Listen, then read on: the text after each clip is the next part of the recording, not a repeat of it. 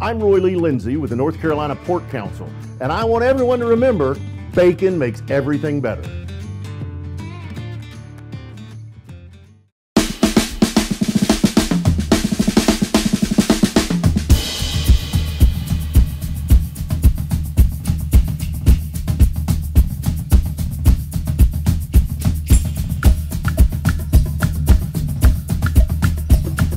Hey folks, David Glenn here from the North Carolina Sports Network, coming at you from the ACC kickoff. Our coverage, as always, pro- provided by the North Carolina Pork Council. Joining us now is the Virginia Tech Hokies head coach Brent Pry. He is the son of a college football coach. He is entering his third season with the Hokies, and he is coming off a seven and six campaign that included a bowl victory. His Hokies are a popular dark horse pick to finish really high in the ACC standings this year. Coach Pry, welcome to the David Glenn Show. How are you? Appreciate you having me. Uh, any anytime you get a full day to talk about our Hokies is a good day. Amen to that. There's some heavier questions I'm going to get to, but let me start you with something fun. I'm curious. Your last home game at Lane Stadium was last November. How many times since November have you gone out of your way to either play the Enter Sandman Metallica song, or maybe it just popped up in your life without you pushing the button? Let me tell you this in the recruiting process, we played an awful lot. you know, it's one of the best entrances, if not the best, in all of college football. And uh, so we certainly emphasize it and, and, highlight it and showcase it when we have recruits and families on campus. And, uh, you know, it's always, it still gets the hairs on the back of my neck stood up.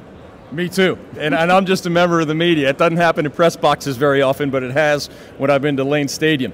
Uh, I mentioned, and my partner knows your dad. Yep. Uh, at what point did the son of a college football coach, and of course you were, I know, a star high school player in Virginia, a college football player as well. At what point in that journey did you kind of have that light bulb come on that I want to be a college football coach like my dad? First of all, I'd be careful throwing that word "star" around. I heard as a you high were school good, football man. player. but I'll say this: you know, growing up around it, and uh, just you know, day to day, seeing my dad, you know, build the relationships and have fun coaching and competing, and uh, it, it was easy to at an early on age to, to figure out that's what I wanted to do. You know, I don't know if I could verbalize it as early as I just knew that you know that's that's in me. You know, obviously, Dad was uh, and is my greatest influence in the coach that I am, and uh, you know, I'm very thankful for the experiences that, that he helped me see. Um, the passion he has and had for the game, um, I wanted that. I wanted to feel that strongly about something, and uh, you know, so I'm very fortunate to have him as a role model and as my pops. Virginia Tech coach Brent Pry is our guest here on the North Carolina Sports Network. I mentioned the optimism on the outside. You, as coaches, try to have your players have tunnel vision, block out the noise, Yeah. etc. But I imagine optimism from the outside could be channeled in a positive way. How have you managed what is clearly higher expectations in year three than you had, say, the day you arrived in Blacksburg? Well, first of all, the accomplishments, I don't want to ignore those. You know, there's there's expectations because of the some of the things that, that we were able to achieve as a team, and so we do talk about those. But in the same breath, we talk about it has no real bearing on the team that we can be when we go to Nashville. You know, that's that's more about the winter, the spring, the summer, the camp we need to have, all the things that we need to areas need to improve and the depth that needs developed to be that team. So it's a little bit noise. And we actually did a, a, a team meeting where we ghost busted positive articles, we ghost busted negative articles. In the end, we have a great experience. We were one in three, and the noise was bad. And we learned to ignore it, that it had no bearing on the team that we knew we could be, the team that we had. And uh, so this is, you know, similar dialogue, but also I'm, you know, the guys are proud and they should be, and there's some confidence that came from that. And then lastly, know, I think that uh, for us, the expectations should be that at Virginia Tech. That's why I returned.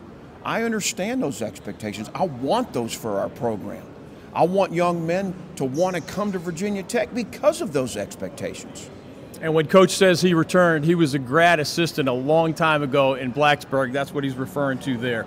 If you are anywhere near Wilmington, North Carolina, and looking for a little live music, a cold beer, a tangy slushy, a fun crowd, or just a taste of the good life at the beach, Jimmy's Bar in Wrightsville Beach is the place for you. Located on North Lumina Avenue, just one block from the sand and waves of the Atlantic Ocean, Jimmy's features a full bar with nightly beer and drink specials and it hosts musical performers almost every day of the year. One more fun fact Jimmy's annual children's bike drive, which started in 2017, now distributes more than 1,000 bicycles and helmets per year to young people in the Wilmington area and beyond. Jimmy's Bar, your home away from home on Lumina Avenue in Wrightsville Beach. I've started a couple businesses in my life, and I remember at the very beginning, as if we were talking to you two years ago, right? Yeah. It felt like I never got more than a handful of the things on my checklist done because everything was brand new. How long would the list be of things that you feel better about, more comfortable with, more structured or organized with right now entering year three, compared to what must have been a little bit of an overwhelming feeling as a first time head coach two years ago? Yeah, there was no handbook on NIL and the transfer portal. Right. As much as I learned from my dad and James Franklin and Jeff Monken and Coach Beamer and Bud, I mean, there was no handbook for that. So it was a lot. But, uh, you know, we always hang our hat on doing things the right way, being genuine, being transparent, embracing hard conversations. That's how we're building this program. You know, we've, we've gotten to a place where I feel pretty good about the culture in our locker room, you know, with our staff, with our players, and you know, that's very important. I think to do this the way that um, is necessary for me and for Virginia Tech, that had to be established, and we've done that. So that's a big one that uh, you know you never stop working on your culture, but we've gotten it to a good place. You have an exciting quarterback named Kyron Drones. In the offseason, from afar, we read that there was tampering. We read that he was contemplating the portal from the perspective of a head coach in a name, image, likeness era, it's not like you're allowed to reach in your back pocket and say, hey, Kyron, if this other school is offering you this, uh, I guess you got to lean on Virginia Tech associated name, image, likeness programs. Just give us a sense of how that works in 2024 because your job in part depends on keeping a quarterback that you've developed into a really exciting player.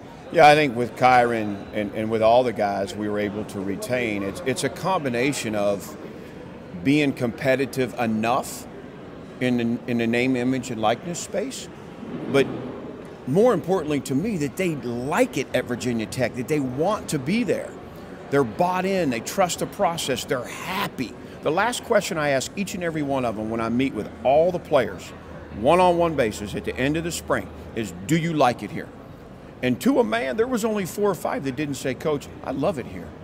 So, and again, there's a lot that goes into that experience. It's Virginia Tech, it's our program, it's our people, it's our staff, it's resources, it's it's name, image, and likeness. There's a lot of things. But I know this, Kyron, maybe most of all, but there's a number of players in our football team that could have gone elsewhere and made more money, and that's not what it was about. You're going to have to keep these short because they're pulling you to your next stop on the uh, car wash, as we call it. But I shared with you earlier, Coach Beamer became a good friend of the David Glenn Show over about th- three decades. We played golf together. I consider him kind of a professional friend. How would you describe his relationship either with you specifically or Hokies football more generally here in 2024? Yeah, first of all, utmost respect for Coach. I mean, I remember just having so much respect. I was intimidated to walk in his office, you know, as a young coach. I just wanted to make him proud and do right and help us any way we could. And that really hasn't changed. When I see him, that's what comes to mind. I want this program to return to greatness, you know, that he worked so hard to build. Um, you know, I probably see him a couple times a week. He still comes to the building and he walks with John Ballein. And I saw him yesterday. He talked about coming down here to this. And you know, he's very supportive. Um, you know, he's, he's, he's a Hokie at heart, so this program means a ton to him. And, um, you know, we're fortunate that, uh, you know, he's with us and that uh, we do get to see him. Recruits get excited and their families, yeah. and, you know, it's just awesome having him around. Real quick, they're going to throw tomatoes at me. We cover the whole state of North Carolina. You have a guy named Bhayshul Tuten. How do you know that a superstar at North Carolina A&T in your evaluation process – is going to transition so smoothly. He's an all ACC player for you guys uh, last year, and obviously a big part of what's waiting you this fall. Yeah, to me, when you look at, at you know an FCS level player, he ought to be the most dominant player on the field each and every week. It's it's very clear, um, and that was the case for Bhayshul. You know, he was special at that level. And then when you look at the fit in your offense and everything that you want that tailback to be, he checked all those boxes. His name is Brent Pry. Coach, thanks for letting us get to know you a little bit better here at the David Glenn Show. We look forward to more visits. Appreciate it. Absolutely, Dave. You Good to see you.